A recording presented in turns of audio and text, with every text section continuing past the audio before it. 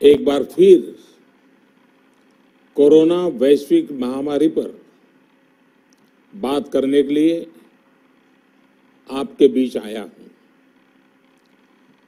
22 मार्च को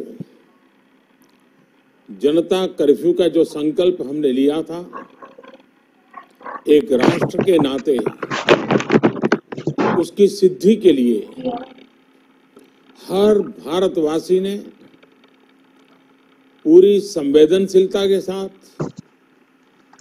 पूरी ज़िम्मेदारी के साथ अपना योगदान दिया।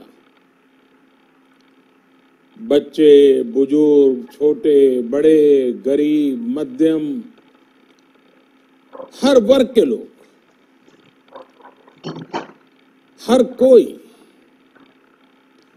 परीक्षा की इस घड़ी में साथ है। जनता कर्फ्यू को हर भारतवासी ने सफल बनाया। एक दिन के जनता कर्फ्यू से भारत ने दिखा दिया कि जब देश पर संकट आता है,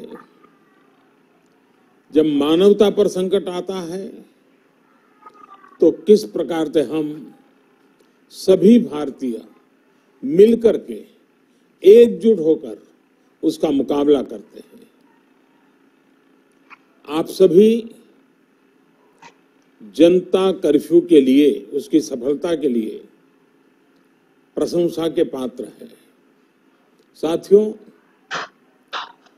आप कोरोना वैश्विक महामारी, उस पर पूरी दुनिया की स्थिति को समाचारों के माध्यम से सुन भी रहे हैं और देख भी रहे हैं। आप ये भी देख रहे हैं कि दुनिया के समर्थ से समर्थ देशों को भी कैसे इस महामारी ने बिल्कुल बेबस कर दिया है।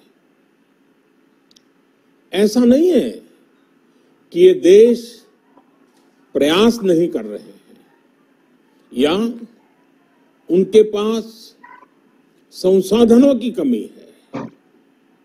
लेकिन कोरोना वायरस इतनी तेज़ी से फैल रहा है कि तमाम तैयारियाँ और प्रयासों के बावजूद इन देशों में चुनौती बढ़ती ही जा रही है। इन सभी देशों के दो महीनों के अध्ययन से जो निष्कर्ष निकल रहा है और एक्सपर्ट्स भी यही कह रहे हैं कि इस वैश्विक महामारी कोरोना से प्रभावी मुकाबले के लिए एकमात्र विकल्प है सोशल डिस्टेंसिंग। सोशल डिस्टेंसिंग यानी एक दूसरे से दूर रहना, अपने घरों में ही बंद रहना, कोरोना से बचने का, इसके अलावा कोई तरीका नहीं है। कोई रास्ता नहीं है। कोरोना को फैलने से रोकना है। तो उसके संक्रमण की जो साइकिल है, उस साइकिल को तोड़ना ही होगा। कुछ लोग इस गलत फहमी में है कि सोशल डिस्टेंसिंग केवल मरीज़ के लिए, बीमार लोगों के लिए आवश्यक है। ये सोचना सही नहीं। सोशल डिस्टेंसिंग हर नागरिक के लिए, हर परिवार के लिए है। परिवार के हर सदस्य के लिए है। प्रधानमंत्री के लिए भी है। कुछ लोगों की लापरवाही कुछ लोगों की गलत सोच आपको, आपके बच्चों को, आपके माता पिता को, आपके परिवार को, आपके दोस्तों को और आगे चल करके पूरे देश को बहुत बड़ी मुश्किल में झोंक देंगी। अगर ऐसी लापरवाही जारी रही तो भारत को इसकी बहुत बड़ी कीमत चुकानी पड़ सकती है। और यह कीमत कितनी चुकानी पड़ेगी, इसका अंदाज़ा लगाना भी मुश्किल है। साथियों, पिछले दो दिनों से देश के अनेक भागों में लॉकडाउन कर दिया गया है। राज्य सरकार के इन प्रयासों को बहुत गंभीरता से लेना चाहिए। हेल्थ सेक्टर के एक्सपर्ट्स और अन्य देशों के अनुभवों को ध्यान में रखते हुए देश आज एक महत्वपूर्ण निर्णय करने जा रहा है। आज रात आज रात 12 बजे से पूरे देश में ध्यान से सुनिए। पूरे देश में आज रात 12 बजे से संपूर्ण देश में संपूर्ण लॉकडाउन होने जा रहा है। हिंदुस्तान को बचाने के लिए हिंदुस्तान के हर नागरिक को बचाने के लिए, आपको बचाने के लिए, आपके परिवार को बचाने के लिए, आज रात 12 बजे से घरों से बाहर निकलने पर पूरी तरह पाबंदी लगाई जा रही है। देश के हर राज्य को,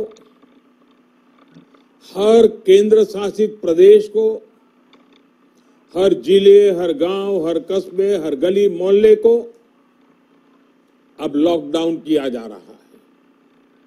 ये एक तरह से कर्फ्यू ही है। जनता कर्फ्यू से भी कुछ कदम आगे की बात। जनता कर्फ्यू से जरा ज़्यादा सख्त। कोरोना महामारी के खिलाफ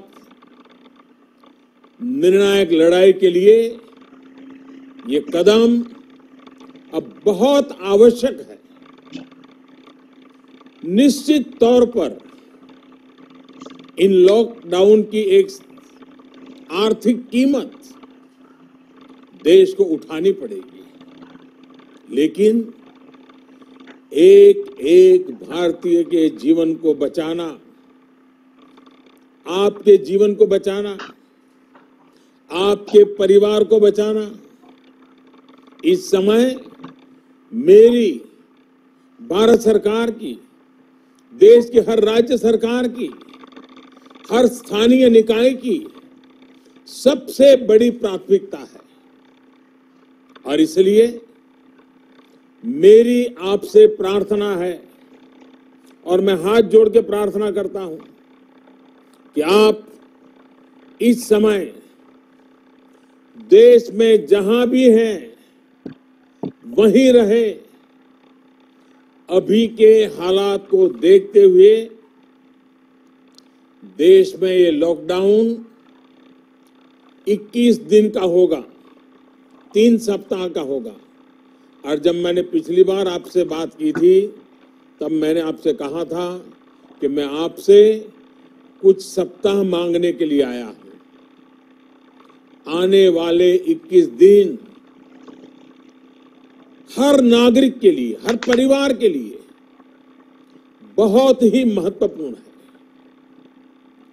हेल्थ एक्सपर्ट्स की माने तो कोरोना वायरस की संक्रमण साइकिल तोड़ने के लिए कम से कम 21 दिन का समय बहुत अहम है।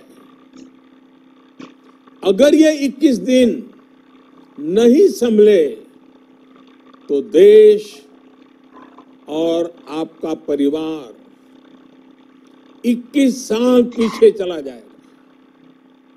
अगर ये 21 दिन नहीं संभले तो कई परिवार हमेशा हमेशा के लिए तबाह हो जाएँगे। और मैं ये बात एक प्रधानमंत्री के तौर पर नहीं,